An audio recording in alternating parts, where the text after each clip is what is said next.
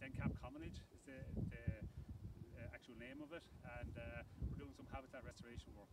One of the issues on the commonage here is the spread of these invasive species. These are Sitka spruce and they have spread in from the giant forestry and that.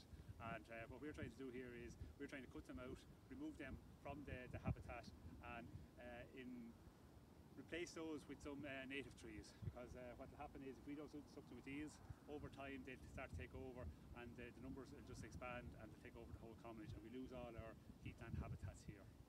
Now when we're cutting the trees uh, uh, SUAS has been paying the farmers on it to do the works themselves. So uh, one of the farmers in particular spent a lot of time up here since Christmas.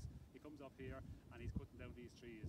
Uh, it's very dangerous terrain here, um, very steep, rocky and a, a, lot of stones and stuff. So uh, unfortunately the work's been done by hand rather than by chase, chainsaws uh, because of the, the, nature of it. The idea here with the cutting is that if we can cut below the lowest branch, uh, the tree won't regrow, re again. If we cut it up high here, uh, we take off the top of the tree, but uh, the stump will re regenerate new growth. So cut it down very close to the ground, uh, and that's where it becomes dangerous with chainsaws and we have to use the hand saws. We did have a, a, number of contractors come in for one day just to help out with the work with contract with uh, chainsaws, but they were suitably qualified in that. So the, we, our preference would be if the farmers themselves can do the work.